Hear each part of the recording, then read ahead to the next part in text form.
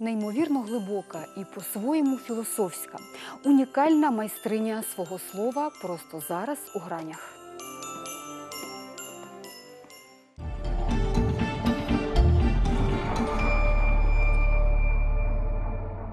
Мрія на 17-й рік ваша. Мрія на 17-й рік поїхати в Ізраїль. Коронна страва на святки. Борщ з грибами, А чим змінюєте простір ви? Сміхом Е, Кому найбільше радієте на свято? своєму чоловікові. Ваш е, час пік. 17.00. Дзвінка Матіяш, письменниця, перекладачка, 38 років народилася в Києві. Навчалась в Києво-Могилянській академії, згодом в аспірантурі Європейського колегіуму польських та українських університетів Люблін, Польща. Відома як авторка романів Реквієм для листопаду, роман про батьківщину, історії про троянди дощ і сіль, День сніговика. Перекладає з польської та білоруської. Має почесну відзнаку заслужений для польської культури, нагороду Союзу Українок Америки та фундації Ковалевих.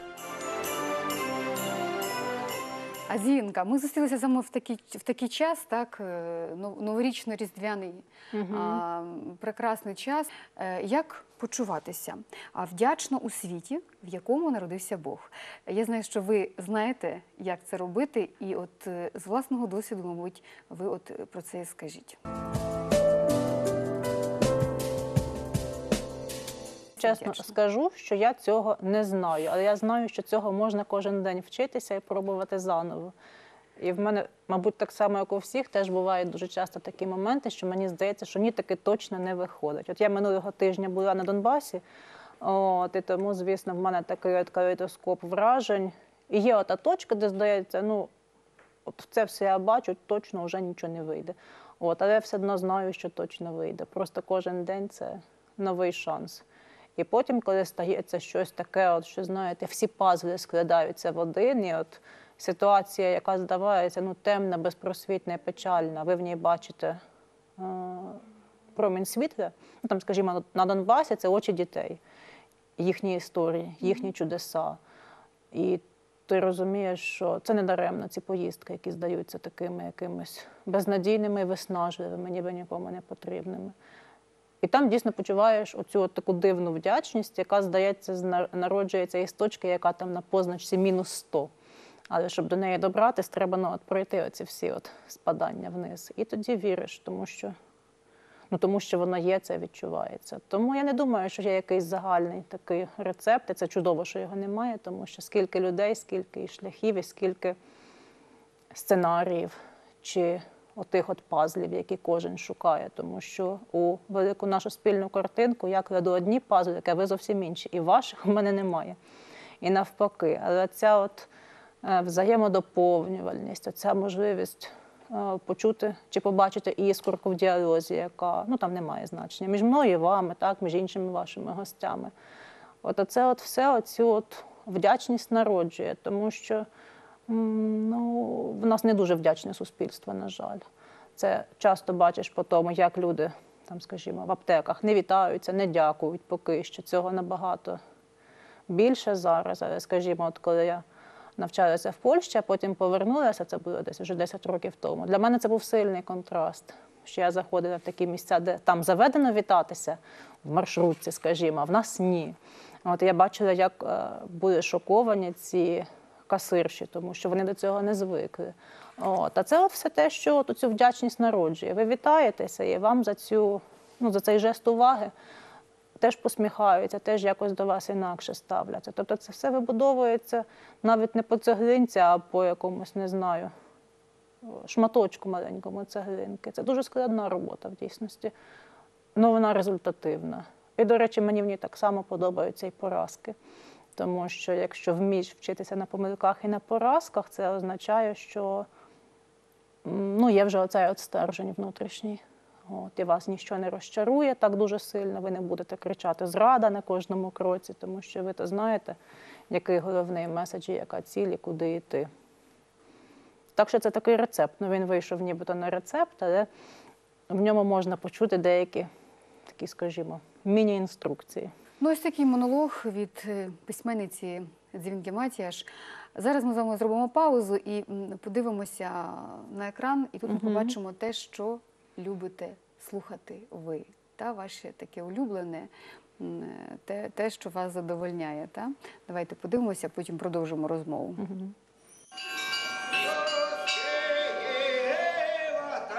Русалима.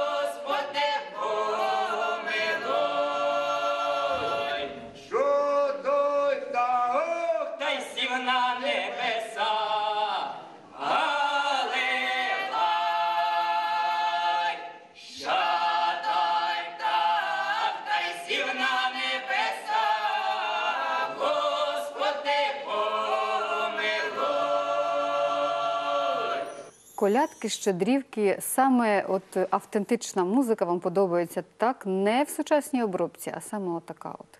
Це Саме чому така. так? Ну, це дуже довга історія. Е, Мабуть, все-таки вона пов'язана із моєю мамою, яка народилася в селі на Вінниччині, і розповідала про свою маму, про мою бабусю. На жаль, я її не застала, яка дуже гарно співала. Відповідно, в такій от манері, як ми щойно чули, ансамбль Божичі. Тобто для вас це таке щось родинне, тепле, десь звідти, так? Ви знаєте, насправді дуже довгий час мене це не дуже цікавило. Ну там, скажімо, в 16, 18, а от значно пізніше. е, До речі, як не дивно, це в Польщі сталося. Я почула на одному із концертів ансамбль із села Переброди Рівненської області, який туди запросили е, польські етнофольклористи, фанати цього гурту. Ну я тоді ще взагалі не підозрювала, що є якесь там таке село. І от мої ровесники, ну старші за мене люди, можуть цим так цікавитися, вчити наші пісні, бо ці поляки постійно туди їздили, записували і не могли говорити по-українськи, але співали так, що дійсно бабусі ними пишалися. Так, а до цього в Україні ви цього не спостерігали. І е, відповідно якоїсь такої зацікавленості цим е, цією автентикою, та маю на увазі української пісні, у вас не було. І я слухала, скажімо, те, що слухала мама, ну там Ніна Матвієнко. Ну як, мені це там подобалось, не подобалося. Мені більше подобалось Бітлз, скажімо, слухати.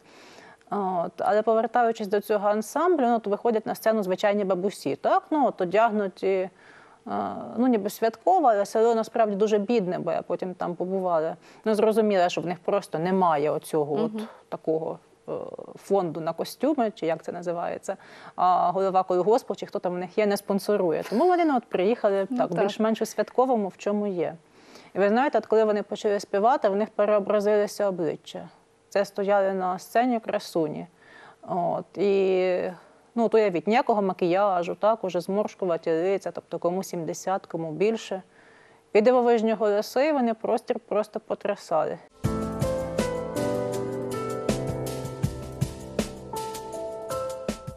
Давайте почнемо говорити про найцікавіше. Це звичайно про ваші книги. Я от хочу їх багато. Тобто про все ми не можемо Не поговорити, зможемо. не зможемо. Але давайте закцентуємося на тих, на яких саме в ці дні буде правильно. Та асоціативні з зимою, е, Марта з вулиці Святого Миколая і перше різдво. Теж буквально ця книга, е, вона ще пахне. Вона ще пахне. Така тематика. Ви все це для кого пишете? Адресат один той же, Е, враховуючи те, що День сніговика ви написали в 2014 році, так? А ось наше перше різдво це вийшло от в 2016 році. Адресат різний. Тут адресату менше років у першому різдві. День сніговика це, мабуть, уже для тих, кому 12 і більше. Марта для тих так само, кому 12 і значно, значно, значно більше, тому що я зустрічаюся з жінками, дівчатами, яким 25-30, і вони, читаючи цю книгу, теж у собі знаходять оту от дівчинку 13-літню, яка е, ну скажімо, там щось тоді ще недостатньо прожила, щось не довідчула. І от в цій книзі вони знаходять для себе такі от моменти, які вдається ще якось заново пережити. Я знаю, що у вас є така мрія, я так розумію, над- якою ви кожного разу працюєте, коли пишете книгу. Це писати книгу, яку можна буде читати і в 6, е, і в 12, і в 30, і в 40, і кожного разу прочитувати в ній щось е, інше, та відкривати в ній щось інше для свого відповідно віку. Це в ідеалі так, я би так хотіла. Ну, Ну, так не це- завжди це може складно. вийти. Ні, є просто дійсно дуже доросла тематика. От, і це зрозуміло, що в 12 років деякі речі не потрібні, а якщо про них не говорити в 30-40, ну це не доказувати якоїсь істини. Тобто я чудово знаю, що є книги, які тільки для дорослих, так само, як є книги, які тільки для дітей. Я, от поки ми будемо говорити, та я дозволю собі трошечки полистати її. Такі просто не, не можу не показати отакі чудові малюночки з першого різдва. Це чудова художниця Богдана Бондар, угу. яка неймовірно талановита і теж от те, як вона готувала ілюстрації до цієї книги, це окрема історія. Тобто Така абсолютно позитивна, позитивна книга. Ну, я думаю, про Різдво іншої не може бути, хоча тут теж є доля, доля трагізму в самому Різдві Є, та звичайно, в історії цього свята, але тим не менше. Зараз ми, в принципі, теж живемо в непростих умовах, в непростих, е, непростій ситуації в Україні. Так, Е, як ви казали, дуже просто написати сумну книгу, але складніше написати все-таки книгу, яка несе радість, мабуть, так. То тим не менше, як, е, які у вас книги зараз виходять? Більше сумні чи більше м, радісні? Ну, оця от книга найостанніша, яка у вас у руках перше різдво, значить, треба говорити про неї. Там є момент трагедії, тому що, попри ту радість, яка стається, попри те, що головні герої цієї книги пастухи, от хлопчик-пастушок має щастя зустрітися із цим дивовижним дитям. Від цього от щастя вмирає його дідусь. Не витримує він цього потрясіння. Він усе життя думав про Месію, чекав, от як це станеться. І от те, що це сталося із ним, дійсно в такий от дивовижний момент дідусь цього не пережив. І от для Давіда з одного боку радість, а з іншого боку він втратив улюбленого дідуся. І йому тепер ні з ким поговорити, хто його буде вчити стригти овечок і так далі. і так далі. Тобто в книзі Давидові іще ангел обіцяє зустріч із Месією, коли той вже стане дорослим за багато років. Ну і звісно ж, із дідусем уже в іншій тій казковій країні, де він тепер. Ну, але це дуже дуже багато часу доведеться чекати. Над, Тому як- над якою от книгою ви найбільше працювали? Так, от е, із усіх ваших, ну можливо, не не лише е, ті, що тут у нас є на столі, та але взагалі, от яка така найґрунтовніша робота? А її тут немає, і це наступна моя книга. Вона зветься Дорога Святого Якова. І це перша книга, фактично, в якій я зовсім не могла впіймати тональність. І Мені доводилось переписувати, змінювати, змінювати.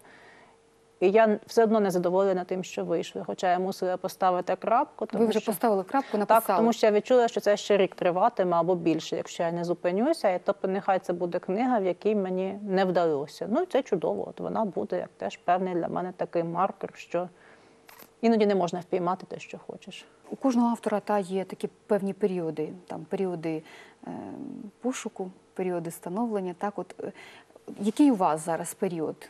У вас в письменниці, у літератора?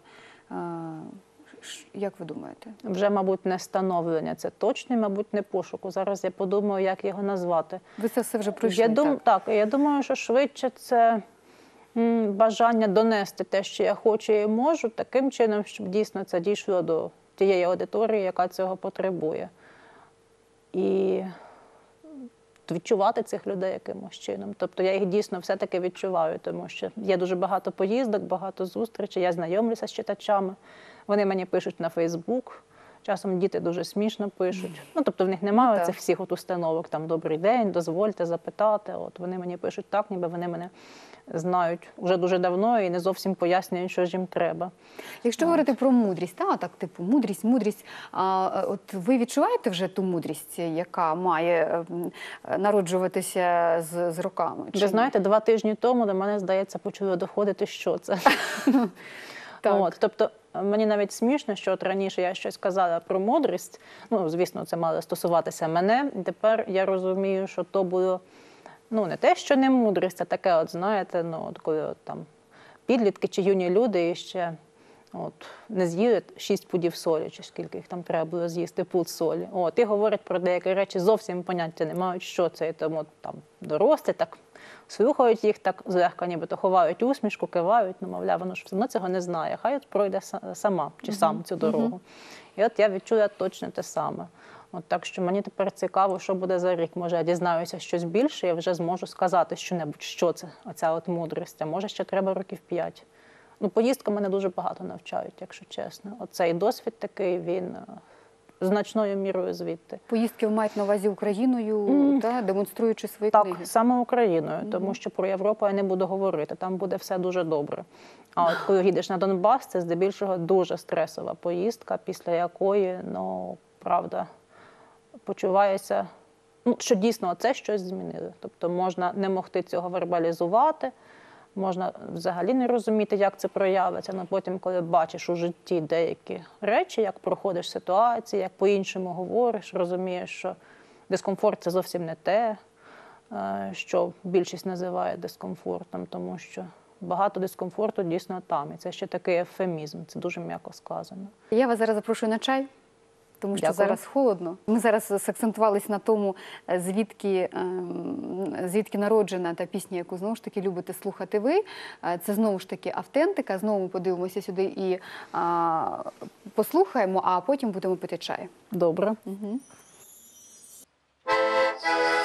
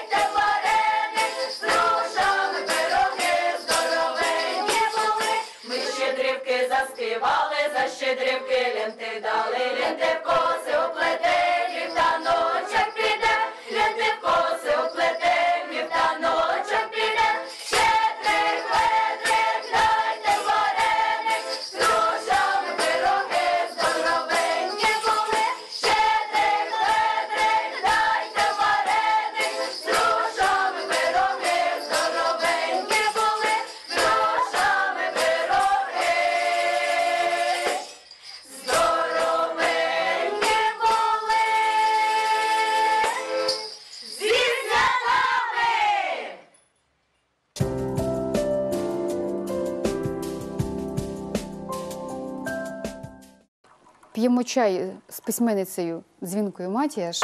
Прошу. Дякую. Яка Дякую, ви пані зранку, Таню. яка ви ввечері? Яка я зранку? Ви Так. знаєте, я от З уже чаєм прокидаєтеся чи ні? ні, спершу я п'ю склянку води, Ага. потім їм яблуко. Все правильно, коротко А кажучи. оскільки я живу за містом в приватному будинку, то це я ще маю пройтися. Ну, не обов'язково прямо там проходити. Це мій чоловік так любить 10-15 хвилин перед сніданком погуляти, бо він мене теж митець, тобто в нас такий от тандем. Тільки він займається більше тим, що з музикою пов'язано. От. Угу. Так що в мене от є поруч річка, сніг, тобто природи мені вистачає. І це, звісно, те, чого дуже-дуже багато е, кому, мабуть, бракує у Києві, тому є оце таке, знаєте, втома від метушні, суєти, від того, що постійно гум, шум, транспорту. Ну, в мене цього, на щастя, немає. Тобто, справді мені нічого не заважає. От в мене ці фактори, ну, справді ліквідовані. Тобто я цілком свідома того, що вони ліквідовані. Це А вечір, вечір у вас вже, мабуть, за чаєм чи ні? Та по всякому, іноді вже цей чай за комп'ютером. От. Тобто я там роблю три якісь справи одночасно.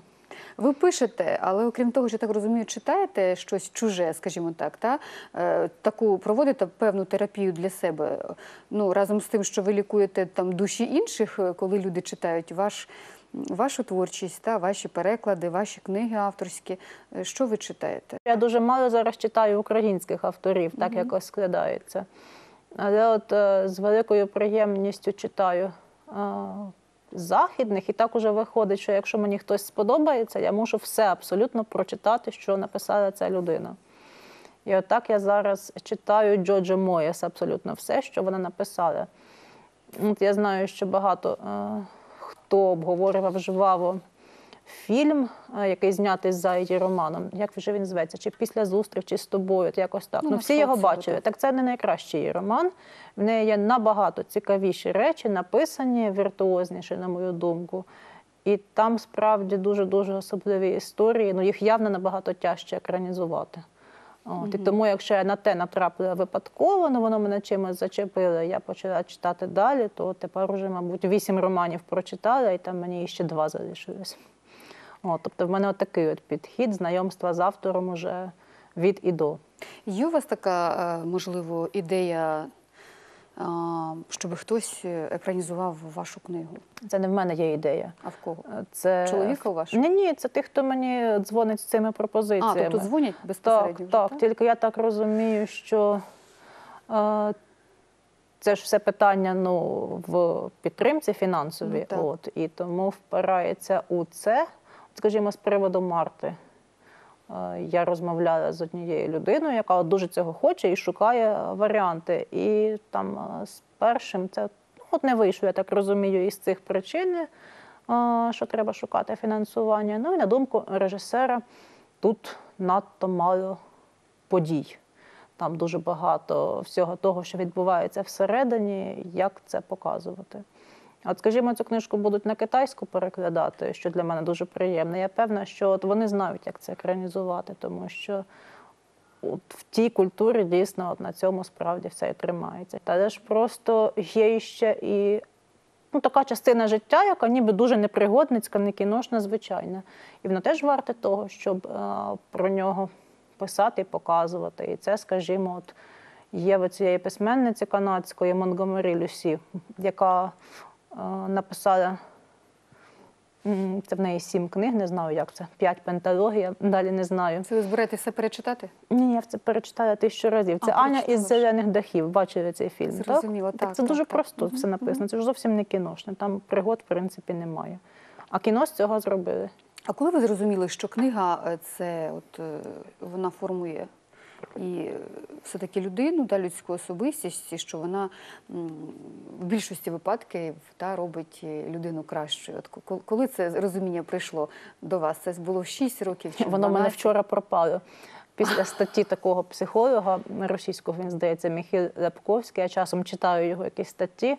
І от вчора він написав статтю, яка ну от мені прямо захотілося з ним зустрітися, пополемізувати. Що от письменники це такі люди, які ну, здебільшого депресивні, невротичні. От вони от е, всі свої проблеми в такий спосіб через книги примудряються виливати. І що як же можна любити Чехова, все одно ж він невротик і депресивний. Ну там довгий список. От, і що, мовляв, не треба вчитися в книг жити. От і нічого вони не формують. І, звісно, можна їх читати, якщо ну, вам це не травмує нічого всередині, і вас це веселить. Ну, але набагато краще вчити дітей не книги читати, а соціалізуватися.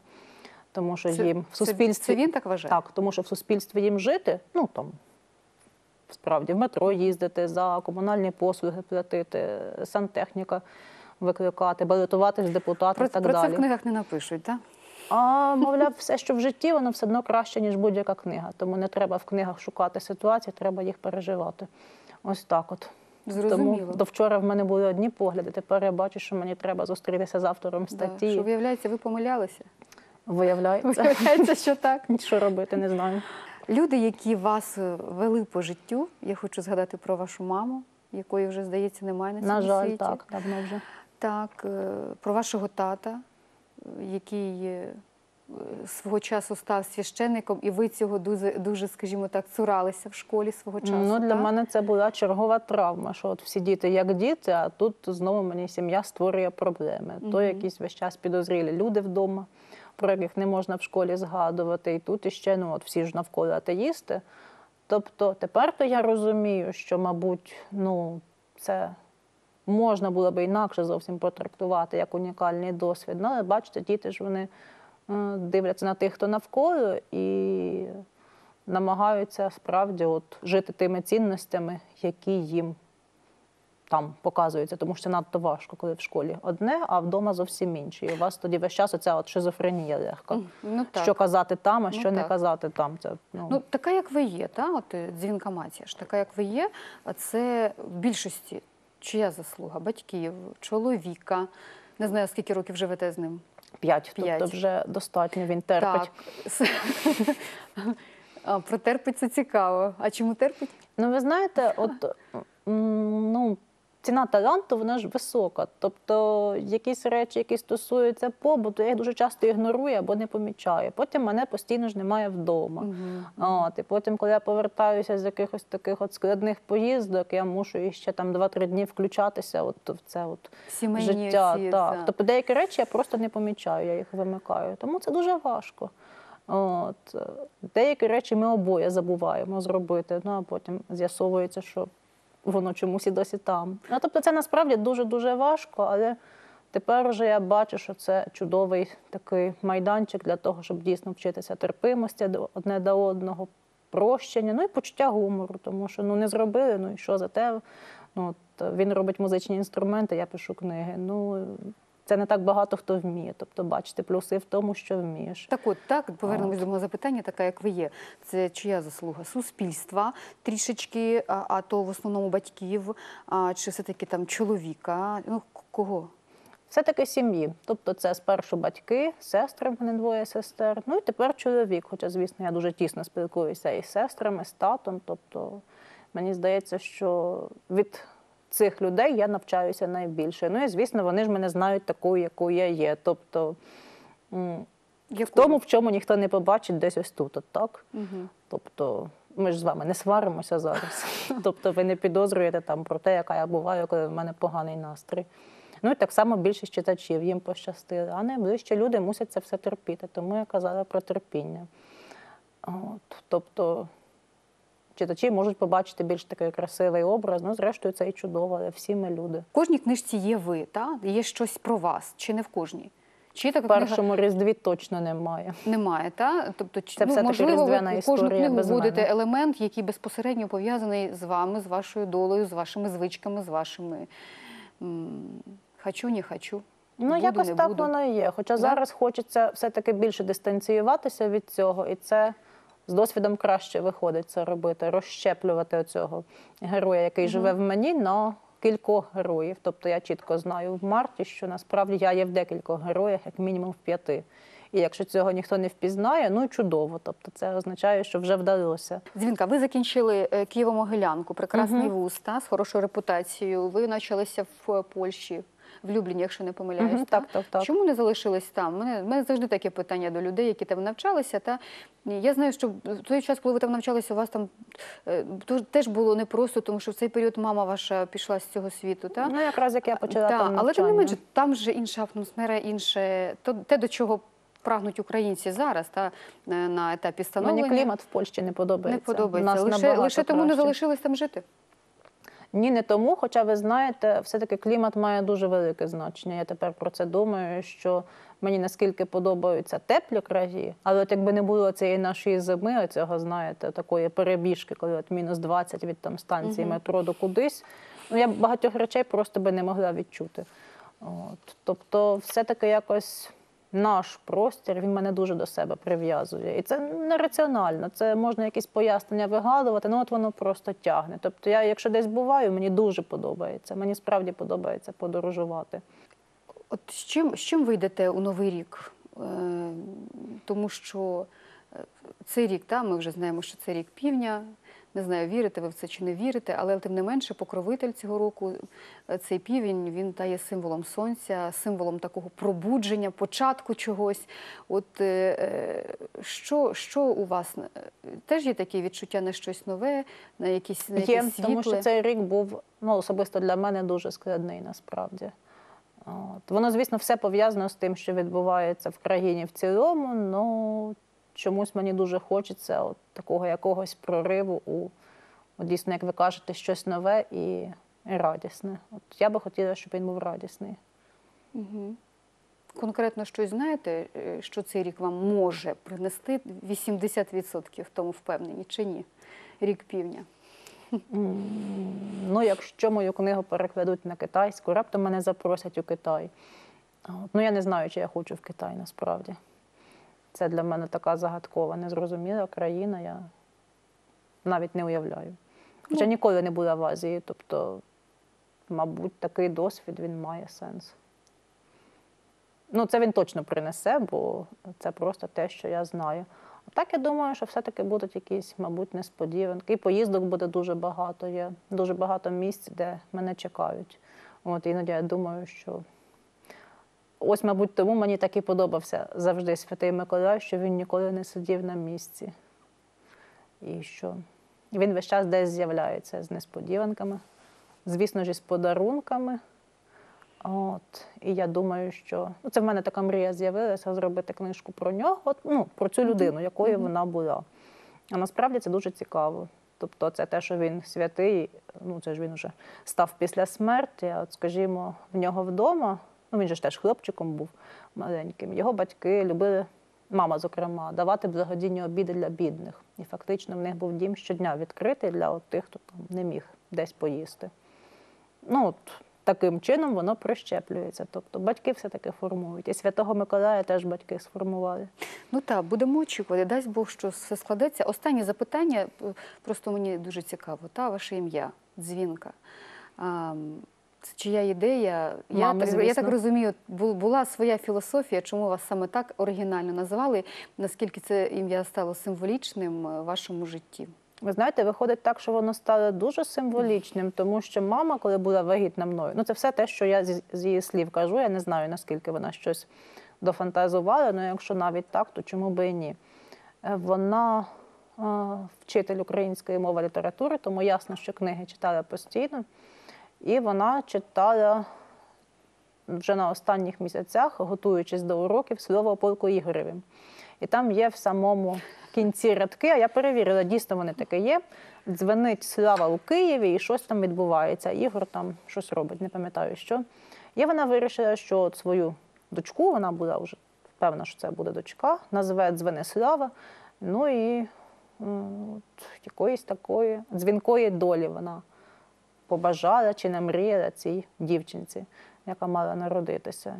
Ну і мама мене називала дзвіночком. Тобто весь час вона от якось так от підсовує мені цей меседж е, от такої внутрішньої дзвінкості і Що ви маєте бути там певного оптимізму. А ми, який... а ми собі, знаєте, ми собі звичайно розуміємо, що ви маєте бути таким дзвіночком, який завжди е, спонукає та, наше суспільство, тому що ви ж пишете, ну, ну взагалі вселюдське да, суспільство таке, якщо говорити в плані е, світу та е, масштабах світу, вірніше, то спонукає людей трішечки зупинитися, взяти до рук книгу і подумати про якусь певну філософію, та про те, що можливо десь там забули, десь далеко заклали в своєму серці. Те- те Треба або в певні в певні проміжки часу його дістати, та і Та якось так. якось, мабуть, так.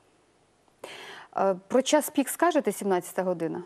Ви знаєте, от я тепер сама задумалась, бо це ж було спонтанно. Я тепер сама думаю, з чим же це було пов'язано? Чи за цим англійським чаєм, який о 17-й годині п'ється, чи із святою вечерею? От мама завжди казала, що вона о 17.00 починається, о 5 Так. коли вже точно е, зайде сонце, ну його може і не бути взагалі того дня, і вже видно першу зорю. І треба, звісно, вийти подивитися на небо, переконатись, що вона таки є, ця е, зоря. І може це той такий час пік, який раз на рік буває, бо я пам'ятаю, що з великим трепетом от, чекаєш цієї вечері. Тобто, нібито день такий, як усі, з іншого боку, він зовсім не такий, Але як всередині є таке Так, відчуття, так. що щось не так, та? Мгм, мгм. щось так магічно, е, фантастично, божественно. Ну що, які ще синоніми можна підібрати? Ну багато, та? Ну і дуже багато, не до, перевершено. до, до цього Мгм. часу пік, про який сказали ви. Тобто, може, це він дійсно тільки 6 січня або 24 грудня. Ну хто як святкує, за яким календарем знаю, що в нас теж багато в Києві святкують і 24 грудня.